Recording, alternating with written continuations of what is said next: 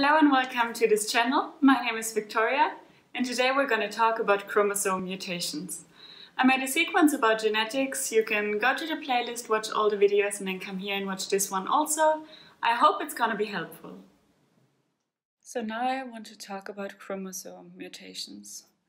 They are the result of alterations of the structure of one or several chromosomes. And these are the result from errors in the cell division that cause a section of a chromosome to change. That can be, for example, in crossing over in meiosis.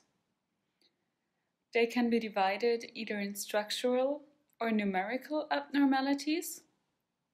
Numerical abnormalities are also called aneuploidy. And here we can have either monosomy, where a chromosome from a pair is missing, or trisomy, tetrasomy, and so on, where one or more extra chromosomes are there in a pair. The structural abnormalities can be also of different kinds. For example, deletion, where a portion of a chromosome is missing. Duplication, where a portion is doubled so there will be extra genetic material. Translocations, where a portion is transferred to another chromosome. And there are two kinds of translocations. Either reciprocal translocations, where the sections are exchanged from two chromosomes, or Robertsonian translocations, where an entire chromosome has attached to another at the centromere and this can only happen with a number of chromosomes, which are chromosomes number 13, 14, 15, 21, and 22.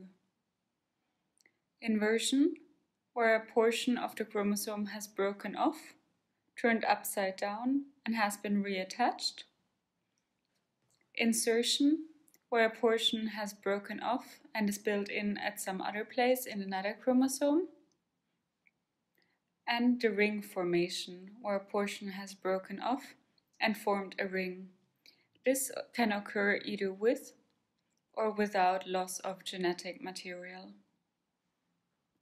There can be different causes for chromosome mutations.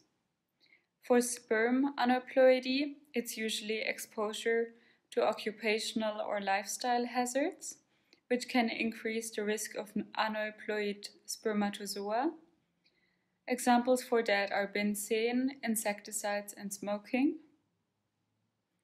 Then the chrom chromosome instability syndrome, which is a group of disorders characterized by chromosomal instability and breakage, which increases the tendency of developing certain malignancies.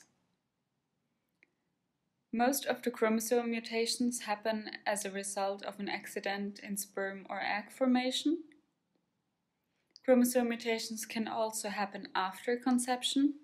Then we call them mosaicism, where only some of the cells carry the abnormality. So maybe you remember that when a sperm cell and an egg cell fuse, they build a zygote, which will then divide to 2, 4, 8, 16 cells, and so on.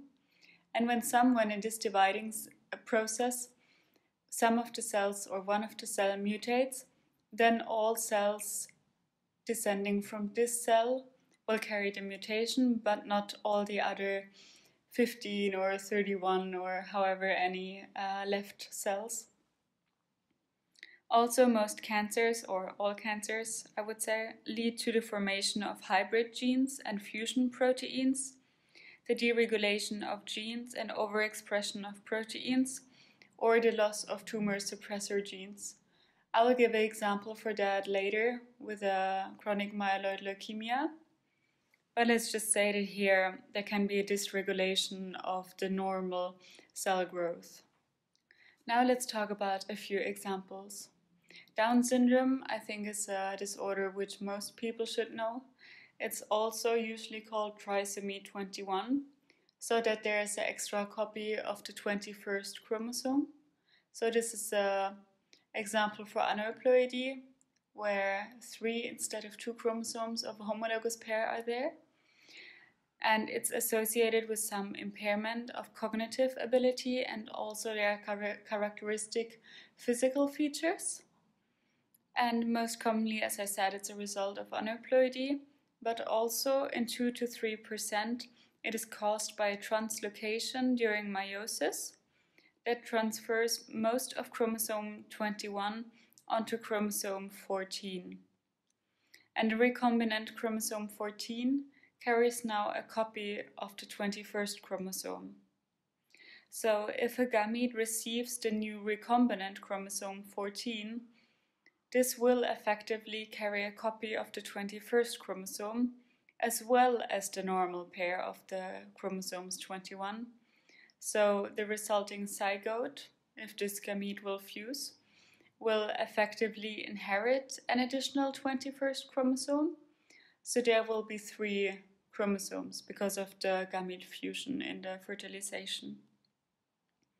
The next and last example I want to, um, want to mention is chronic myeloid leukemia, which is caused by a translocation between chromosomes 9 and 22. And the translocation leads to a reposition and ch change in the expression of the genes. I want to mention this a little bit more detailed for those that uh, want to know it a little bit more detailed. So the point at which the two chromosomes cross over happens in this example between the genes or between the coding regions, so where the genetic sequence is not completed yet. So it's kind of like ripped apart on both chromosomes, and that leads to a abnormal fusion of existing genes. So the resulting protein, when now the two broken open genes fuse, will um, code for another sequence and the resulting protein contains a region which is capable of stimulating cell division without needing activation uh, or other uh, activation or other cell signals. So it's like a light switch that's always switched on and always generates light. And here in this example, it will constantly stimulate cell division. So here we have the loss of the ability of regulation of cell growth. And maybe you remember, or maybe you had pathology already here. This is one example for, it is one of the characteristics for neoplasms which is necessary for tumor growth and which is one of the characteristics of tumors that they can divide and divide and divide without control. And here in this case, this is because of a translocation.